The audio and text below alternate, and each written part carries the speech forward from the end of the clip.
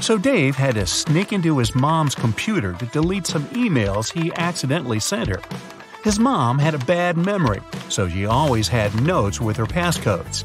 Luckily, the note was right there again, saying 9868. Dave entered the passcode, but it was wrong. Why? And what's the actual passcode?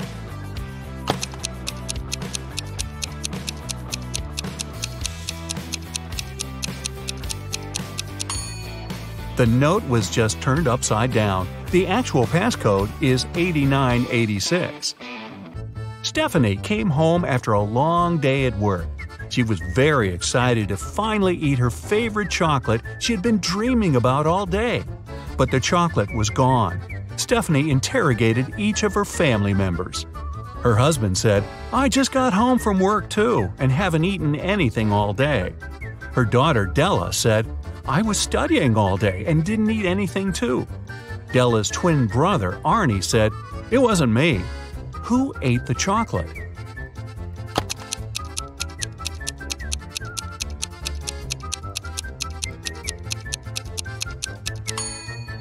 Take a closer look at Della's desk. There's a chocolate wrapper, but she said she didn't eat anything. She must have lied. A grocery store manager noticed that recently they started to lose watermelons. He suggested that there's a watermelon thief coming at the store from time to time. He opened one of the security videos and could immediately tell who the thief was. Look at the picture and try to guess who is the culprit.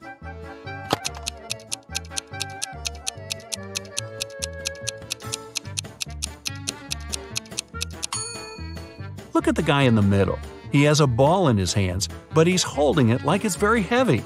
Usually, balls aren't heavy, so it must be a watermelon. Tom and Mark came to the job audition. The company doesn't want to hire parents because they need full commitment. Both men said that they're not parents, but one of them is lying. Can you tell who?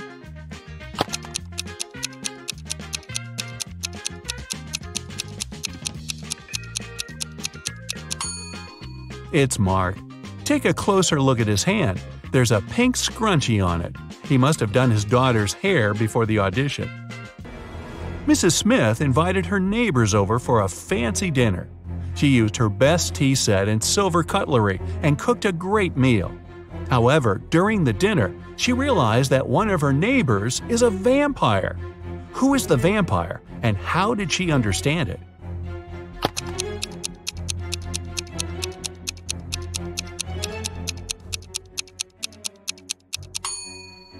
The vampire is the one who brought his own plastic spoon and is eating with it instead of with Mrs. Smith's silver cutlery.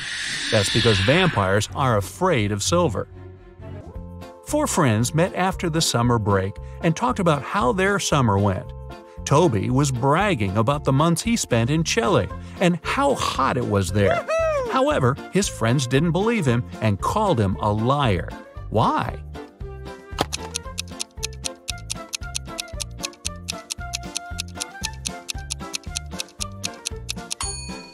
Chile is located in the southern hemisphere.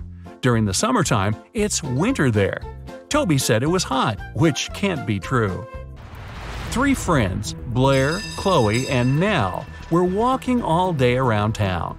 They found a beautiful but dusty house where no one lived. They entered it and started to take pictures. In the evening, they were scrolling through the pictures and one of them made a scream. Take a look at the photos and say which one scared them and why.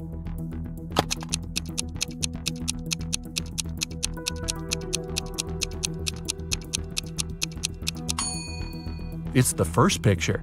There was no one in the house except for the girls, but on that picture, they're all three of them together, snapped from behind. Michelle was having a birthday party. She noticed her brother was eating in his room with some girl. However, she didn't know who it was.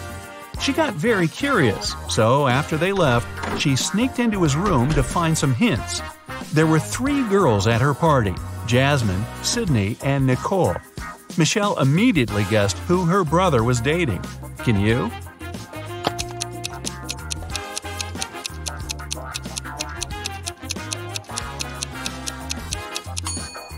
Her brother was dating Jasmine. Look at the dishes and the cutlery. There's a lipstick stain on the fork. Jasmine is the only one wearing lipstick. Pamela is a lawyer and Samantha is a journalist. Can you guess which one of these women is a mother?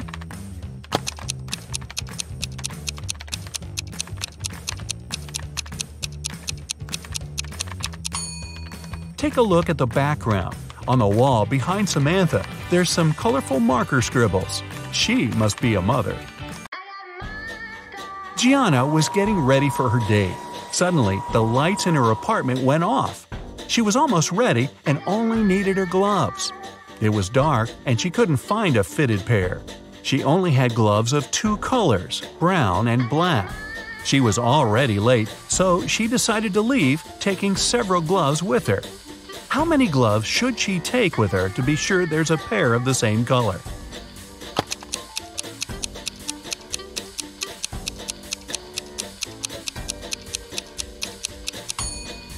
She just needs three. Even if the first two are of a different color, the third one will either be black or brown, matching the other one. A police officer was following a robber around the city. Suddenly, the robber entered the hospital and disappeared. When the police officer entered the building, there were three workers. One of them must be a robber who dressed up to pretend to be a doctor. Can you tell who?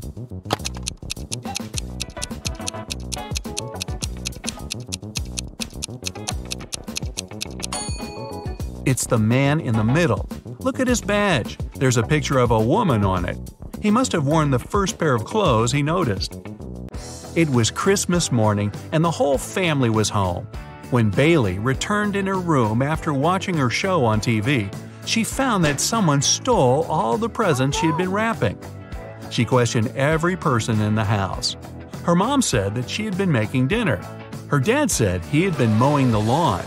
Her brother said he had been playing video games in his room. Who stole the presents?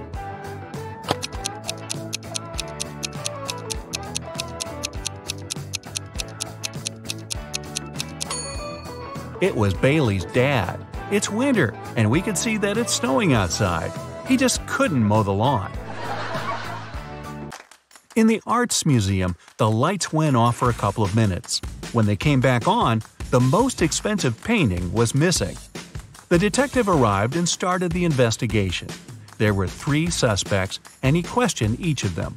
Jessica, a dance teacher, said that she had been so scared when the lights went off that she couldn't even move and for sure didn't touch anything. Derek, a journalist, said he'd been in the bathroom at the time. Collins, an engineer, said he had been in a different room of the museum, watching the dinosaur fossil.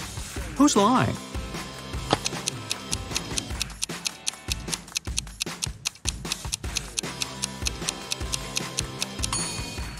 It's Collins. It's an art museum. There are no dinosaur exhibitions.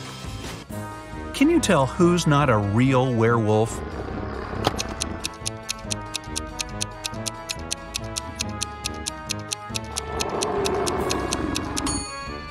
It's actually the guy who looks like a werewolf.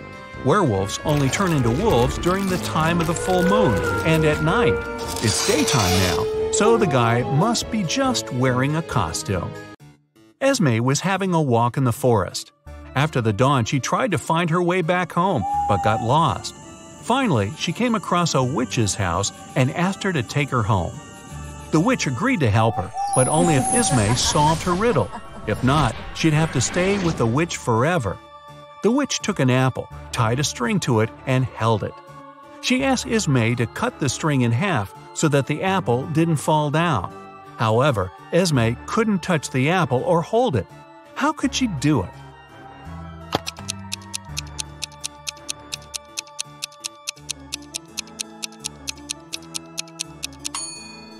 Esme should tie a knot in the middle of the string, make it into a loop, and then cut the apple.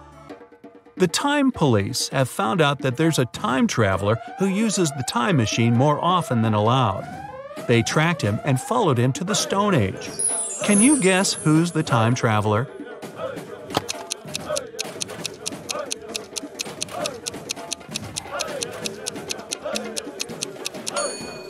It's this guy who's wearing sneakers. Sneakers in the Stone Age? Really? Mr. Brown was robbed in the street. The culprit hit him on the right side of his head and ran away with his wallet. Mr. Brown didn't see who it was, but he noticed that the person entered a nearby hospital. When he entered, there were three people sitting there. Take a close look at them and tell who was the culprit.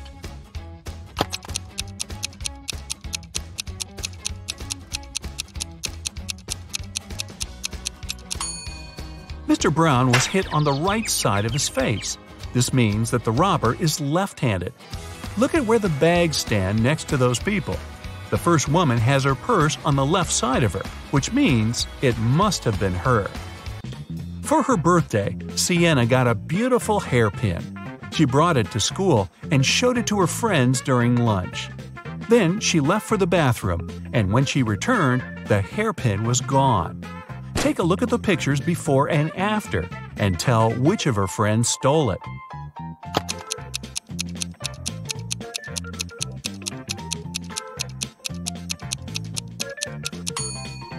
Look at the glass of juice of the red haired girl.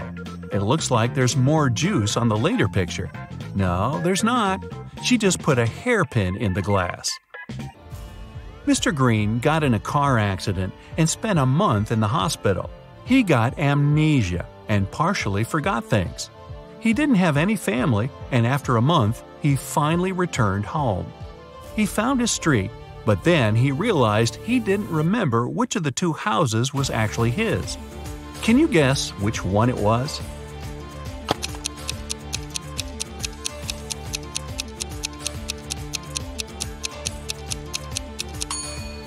His house is the one where the snow is unshoveled. He spent a month in the hospital and lives alone, so no one could clean the driveway. Look at the Christmas photos of two families. Can you tell which family is poor?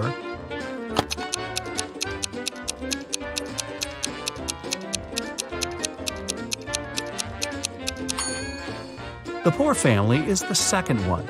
Even though the son has a big present, the parents don't have any presents at all. They probably couldn't afford to buy presents for themselves.